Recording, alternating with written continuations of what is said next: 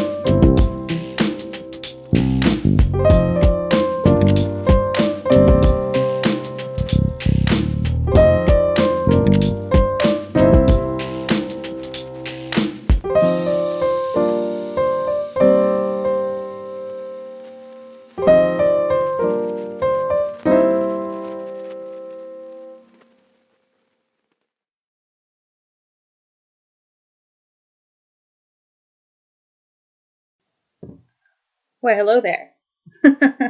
hey guys, it's uh, Sarah here from Bogart Knits and Designs. I wanted to thank you again for watching my latest YouTube tutorial of the plated cowl. So you got to learn how to do the plating as well as make a super awesome medieval cowl. Who doesn't want to do that? Uh, yeah, I wanted to thank you guys for watching it. Uh, please make sure to like, share, and subscribe. Um, and please send me pictures of the color schemes and ideas that you come up with because I want to see them. I'm really looking forward to seeing what kind of variations happen uh, from this. Um, uh, I will leave a link for the yarn that I used, which I got at hobbii.com, great site, um, in the description box below. And so you can find that information there. And I'll leave how much yarn that I used so that'll be there. And also, if you guys are interested in checking out my Instagram or Facebook page, because I have been cro- crocheting for over 10 years, the knitting machine uh, is newer, but I seem to be picking, picking it up pretty quickly. So, and it's a lost art. And I think that, you know, I want to see more people get back into it. So that's why I've been making these videos, because knitting machines are awesome. You can do so much with them. Um, yeah, so I think I'll leave it there for today. Uh, you know, just stay awesome, stay nerdy, and stay fierce. And yeah, I guess, sure. Thank you guys.